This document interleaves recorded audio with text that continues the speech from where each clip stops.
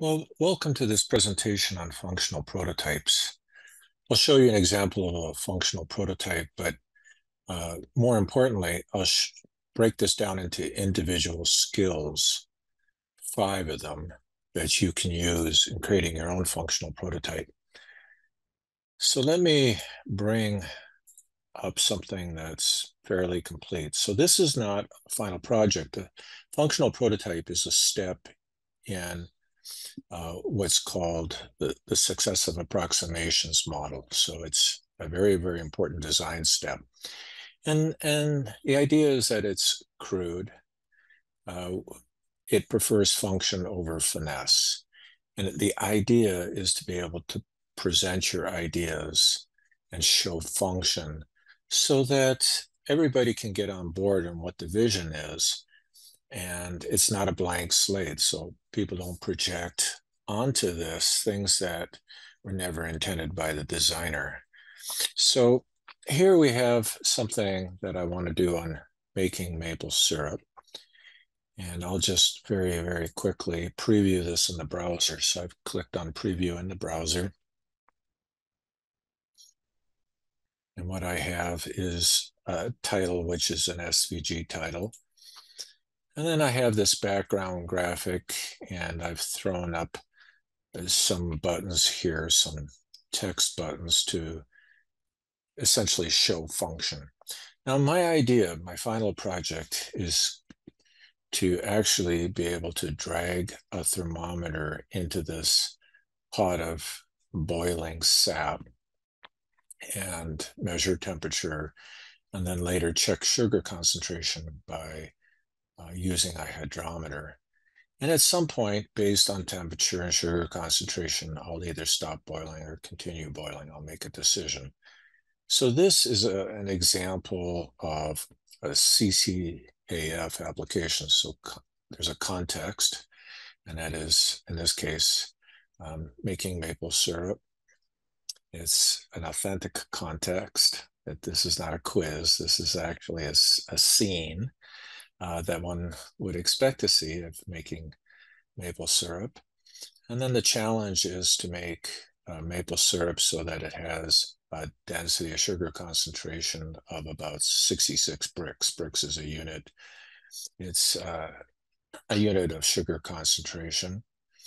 And then, uh, so the challenge is to make enough, uh, a good quantity of quality syrup uh, not to overboil it, not to underboil it. And constantly in this, you're making decisions. Should I stop? Should I continue? So it's very realistic. Now, we can check temperature and, and here again, uh, this substitutes for perhaps dragging a thermometer. So dragging a thermometer into this pot is a lot more work involved. And what we're trying to do is keep this very simple to show function. So I'm checking temperature. Here's the Brix. Here's the Brix level. It's at 30, so it's much too low. Therefore, we'll continue boiling. So well, now the only thing that did, and of course I could have all this stuff in the background that automatically increases temperature, increases sugar concentration. But the only thing I did is progressed to the next scene. So my continued boiling basically jumped to the next page in which where I have a, a different temperature, a higher temperature, a higher sugar concentration, and I can then, you know, is this good enough? No, it's not really. I'll continue continue boiling. And so I've now progressed to the last scene where I check the temperature. It's 219, which is great. Uh, that's my target concentration. We're good. And we produce 30 ounces of very good syrup. So this very, very quick functional prototype shows my intention as a designer. It, I'm trying to take this experience of making maple syrup and make it an authentic experience, make it an authentic learning experience, which follows this context, challenge, activity, feedback paradigm. All right, so let's put this away. And let's just kind of break down the skills. So I'll put, my, put away my prototype. Now I'm not going to try to recreate this prototype. I'll, I'll, what I want to do is just break down these individual skills. So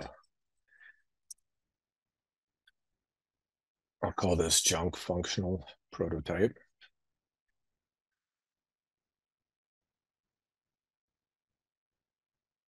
Click on OK. So I've chosen the Activity Maker template. And again, I've expressed this many times in the past. This is a Swiss Army knife. It's of Lodestar templates. It's a great template for making a simple functional prototype. Now, one of the things that I can do is use SVG graphics, scalable vector graphics. And the way I can accomplish that is click on SVG and I can type in some text. Again, my objective now is not to try to recreate that making maple syrup project, but I just want to show you. So if I want to bring in text, I can simply type in text. It's SVG text, so I can grab it, and enlarge it. If I wanted to bring in an image, I could click on the image tool and bring that in. So I clicked on the image tool, then clicked on the canvas. Now what I want to do is fit, I want to trim away the excess canvas. So I fit the con content so it looks at all the objects, creates a little bit of a margin around, and that's good. I saved the page. Perfect. That was step one. I can create my SVG graphics. Step two is always to, to, to make this responsive so that it'll play on different devices. I would, I need to choose a percentage rather than a fixed width and height. So I'll do that. I'll hit OK. And now everything is taking up 90%. Now, when you create a functional prototype, oftentimes, so if we used our SVG tool again, oftentimes, you know, you can simply just use simple graphics here to represent things. If it's a slider bar that you're trying to represent, it might create a, it might create this rectangle and then, you know, round off the corners, perhaps, maybe too much. And then I can hold down the shift key, make a perfect circle, and then I can grab my tool here. And so I can represent a slider if that happens to be something that I want to, to show. I'll go ahead, and fit the content, save the page. And then again, I want to click on the graphic and choose a percentage. So I can lay things out on the screen using SVG. I created a new page by hitting this plus key. So I can select the plus that creates a new page. This page type is a text page type. I have a whole variety of different page types, and this one happens to be a text. The next skill relates to images. I can bring in images. So I showed how we can create a scalable, scalable vector graphic, but I can also import an image. I can choose get image and I'll just bring this in. I said I wasn't trying to recreate my project, but just for the sake of simplicity, I'm bringing in an image. So you need to bring in images by selecting get image. Don't paste, don't copy an image into the clipboard and paste it in because uh, there's some processing that needs to happen. And this is the best way to accomplish that. So click on get image, select your image, and then give it a give it a, a size using percentages. So 80, this particular image takes up 80% of the screen. Click OK. And now I've brought in my images. So we can do that. Uh, we can also bring in uh, PowerPoint. You could export a PowerPoint as a PNG and import that in the same way. So you could export a PowerPoint and then click click this image tool. And this will be a little tedious, but all I I do have an exported PowerPoint. It's going to take me just a little I, I have it deep in these folders. So bear with me for a sec as I go grab this image. So this this was crude, but it was created in PowerPoint. This is, I'll go ahead and maybe change that to 90%. Now I have these images that I brought in. One was generated in PowerPoint. One was a stock image. If I wanted to add function, I wanted to add function to this particular image, make it interactive, I could do that. So let's say, let's take this particular graphic right here, which causes me to go backwards. That's what this represents. It's just a navigation. Uh, if I wanted to make that interactive, I would click on the image, select interact. I would click on the hotspot and drag it over top. I'm doing a right click.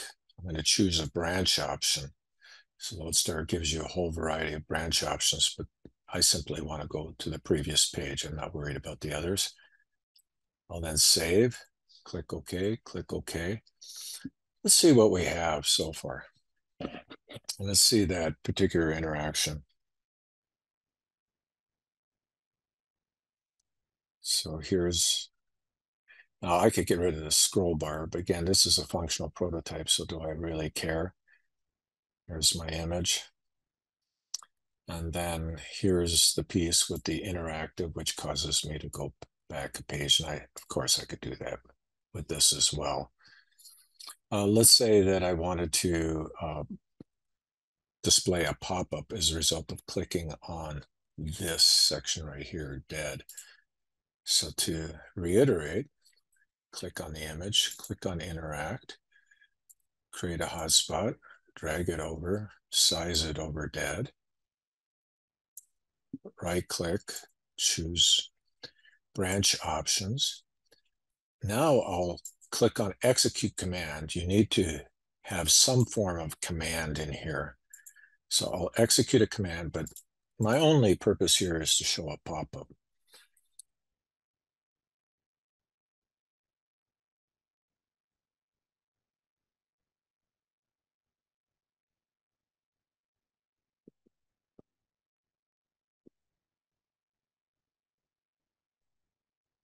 So whether you agree with this content or not, it doesn't matter. The point is we need to select execute command in order to show feedback. I'll save, click OK. And now let's see that in action. Click on preview in browser. I'll progress to that page. And now if I click on this area, I get that particular pop-up. So that's how you can create a functional prototype. You can use a combination of SVG graphics, imported graphics. You can go into PowerPoint, lay things out, then import those as a PNG file. That would be my, my recommendation. You can then click on the image and add interactions. So for, for my final step, what I want to do is, is show, if you wanted to, for example, you know, submit this to somebody as a zip file, or perhaps import it into a learning management system, this is how you would do it. So you could choose export. So if you were doing a project for a class and you wanted to send this particular project, this functional prototype, uh, you know, perhaps put it in a Dropbox or assignment folder, then you have a couple of options. You know, for my students, what I've done is I recommended the SCORM 1.3 just to get people in the habit of choosing this very, very popular standard shareable content object reference model. The version is 1.3. So that is a recommended, especially if you're exporting to a learning management system. You could just export this as a simple zip. So if you wanted to put this on the web somewhere, you could export it as a simple zip, get it up into a web server, unzip, and then point to the index.htm page. So that'd be, then there are other options, but we won't worry about those other options right now. So I'll choose SCORM 1.3. I'm going to call this a functional prototype.